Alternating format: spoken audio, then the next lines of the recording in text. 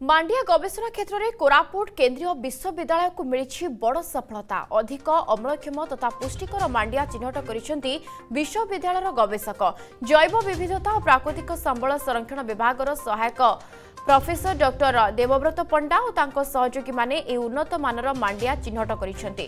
କୋରାପୁଟ ମାଳଭୂମିରେ ଚାଷ ହେଉଥିବା ତେଲୁଗୁ ବଡ଼ ଓ ଦଶହରା ଦଶରା ଆଦି ତିନି ପ୍ରଜାତିର ମାଣ୍ଡିଆରେ ସବୁଠୁ ଅଧିକ ପୋଷକ ତତ୍ତ୍ୱ ରହିଥିବା ଡକ୍ଟର ପଣ୍ଡା ଦାବି କରିଛନ୍ତି। ଏହାର ଚାଷ ଉପରେ ଗୁରୁତ୍ୱ ଦିଆଗଲେ ଆଦିବାସୀଙ୍କର ରୋଜଗାର ବୃଦ୍ଧି ସହ ସେମାନଙ୍କୁ ପୁଷ୍ଟିକର ଖାଦ୍ୟ ମିଳିପାରିବ। ମୋଦି ସରକାର ମାଣ୍ଡିଆ ଚାଷ ଉପରେ ଏବେ ସର୍ବାଧିକ ଗୁରୁତ୍ୱ ଦେଉଛନ୍ତି।